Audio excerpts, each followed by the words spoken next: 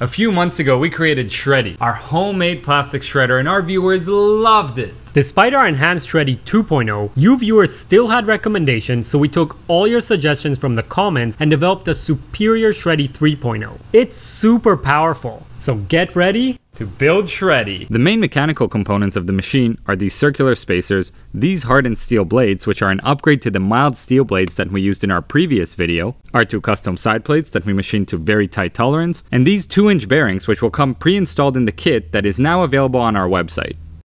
We also have these much tougher and thicker steel drive shafts and the machine keys used to transfer torque from the shafts to the blades. We also use these steel couplers to attach our motors to the shaft and we plan on making a bicycle powered version of Shredii with this sprocket as well. You know, cycle and recycle. The first step to assemble these parts was to insert the bearings into the holes in these steel plates. Now these are a very precise fit, so we had to go and properly press them in. Now before we get to the next step, here's a quick visual to show how we designed our parts to ensure the blades and circular spacers won't rotate on the shaft. This is a standard design for transferring very high torques, where a coupler like this just keeps slipping. As you can see, both the spacer and the shaft have a groove in them called a keyway, which gives us space to insert this thin keystock that transfers all the torque from the shaft to the blades. Alrighty, let's start building.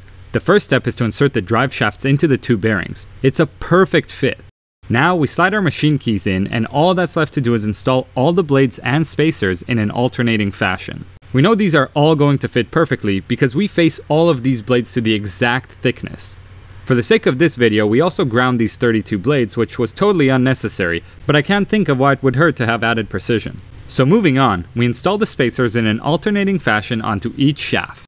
After mounting these components, we capped Shredii off with the second bearing plate and we were left with this beautiful array of cutters. It looks very promising. Now, you can mount the blades on however you'd like, but note that we staggered them such that all the parts get pushed to the middle, unlike Shredii 2.0 which would push all parts from right to left. Our last step with the Shredii kit is to install these outside walls which hold all of the parts together. This here is the complete kit that you can get on our website. You can power it with a motor, a bike, or any other safe method to spin the blades. We decided to start with motors, so naturally our next step is installing the two couplers onto the shaft. We used a lathe to turn down our shafts to the proper diameter, and the coupler slid on there perfectly. Unfortunately, again, they can't grip onto the shaft tight enough, so we also machined keyways on here to help transfer our torque from the motor to the shaft. Speaking of motor, at this point you can attach any power mechanism you want. We cut out a custom yet simple design that bolts onto the frame very easily. Just push the 3 8 by 16 bolts in from the inside of Shredii and thread on these McMaster standoffs. Once we got all 6 on there, we simply had to screw our motor plate on. Very similar to our Shredii 2.0 design with the stepper motor and the 80 to 1 ratio planetary gearbox, we used a 250 to 1 planetary gearbox to really increase the torque. We just pushed the gearbox into the coupler, tightened it down, installed the second gearbox, which is another very major upgrade from the V2, and then bolted them both into the motor plate with these M5 screws. These gearboxes from Lichuan output so much torque that I can even quickly do a test shred with just the power of my thumbs. This is looking super promising. For motors, we're using these Lichuan servo motors which are immediately compatible with the gearboxes. Just slide them in, Four M5 screws in each motor set them in place, and we're ready to program this super awesome looking machine. Now, we've already demonstrated how to program this in our last Shredii 2.0 video, so feel free to watch that for a quick Arduino refresher. It starts at 5 minutes and 45 seconds. A simple turn of the potentiometer, and the motors begin to spin at whatever speed you set them to. Great, let's start recycling. By the way, note how this set of blades is spinning slower than this one. We programmed the motors in this way because we found that it helps with the shearing process. Now this worked super well, but there are two things that are wrong. First of all, there are no safety covers, so let me quickly run to the 3D printer. Now that it's done, this feature will prevent hair, hands, or any other loose hanging objects from getting caught, and it bolts right in. Our next safety feature is this switch that must be activated or the machine will not be enabled. In other words, the lid must be installed or the machine won't turn on. We also added feet to the threads below to allow room for the shredded pieces accumulating at the bottom. First test of the fully completed Shredii are these water bottles. Shredii chewed them up like butter, and underneath we could see a pile of beautifully shredded bottles. Here's a visual from a different angle showing how Shredii shreds these bottles. This side-by-side -side view shows the live shredded bits falling at the bottom. Alright, now it's time to stop the machine and collect our shreds. We've got a pretty decent amount of plastic here and we're going to take a pile of it to use with Injekto.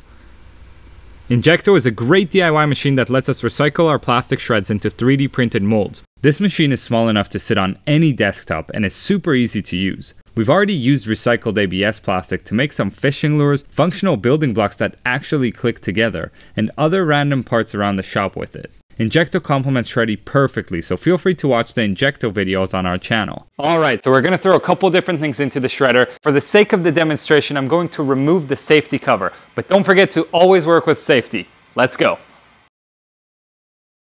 Safety cover is off. Let's start by throwing in some 3D prints. Don't forget to subscribe. And safety first. Next up, we have these building blocks that we made using our Injekto 2.0 in our previous video.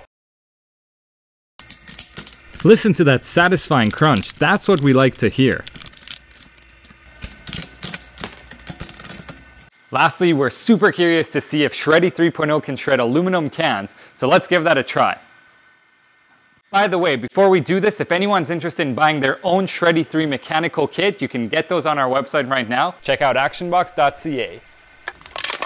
Whoa, this is so awesome and satisfying. I honestly didn't think that Shredii would be capable of shredding these cans into bits.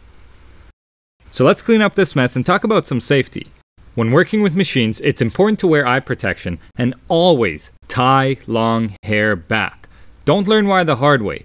Don't be like Barbie. Now, if you guys like the shirt I'm wearing, check out our YouTube store. Also, consider becoming a channel member. We'll see you next time.